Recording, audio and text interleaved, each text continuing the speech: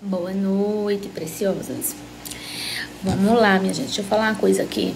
É, várias pessoas viram a notícia do meu irmão pela internet.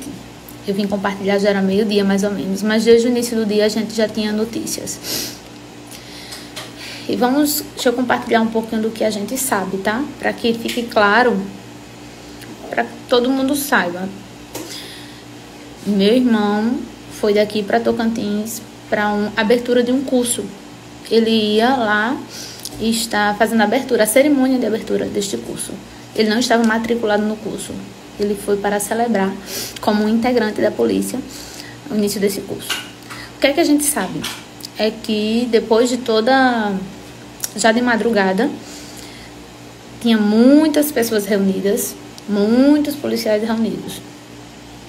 E em determinada hora da madrugada, Diz aqui por volta de três e meia da madrugada, houve uma discussão generalizada. Meu irmão não estava nessa confusão. Houve uma confusão generalizada. Meu irmão não consumia álcool.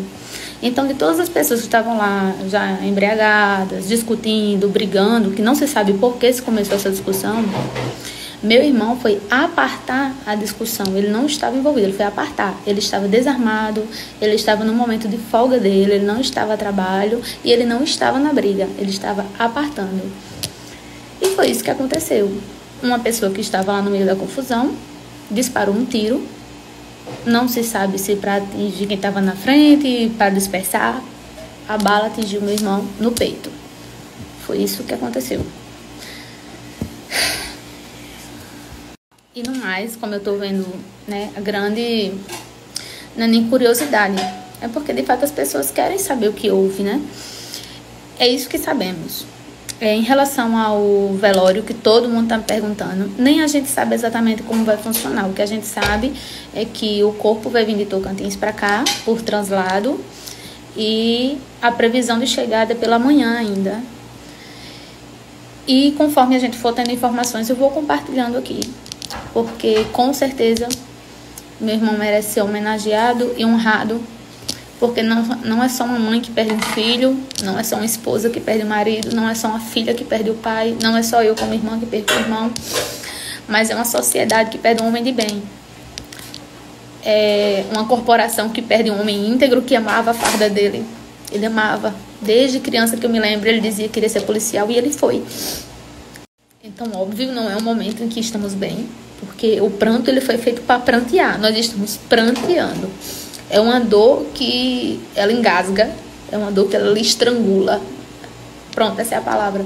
A dor do luto é uma dor que estrangula você. É como se tivesse um, uma corda no seu pescoço lhe sufocando. Você não consegue nem falar. E é como se o Senhor fosse a porção necessária para dar a folga para a gente respirar. Então, minha mãe precisa de oração. É uma, é, é, assim, eu estou sofrendo, mas eu não imagino a dor dela. A dor de perder um filho. Um filho muito amado.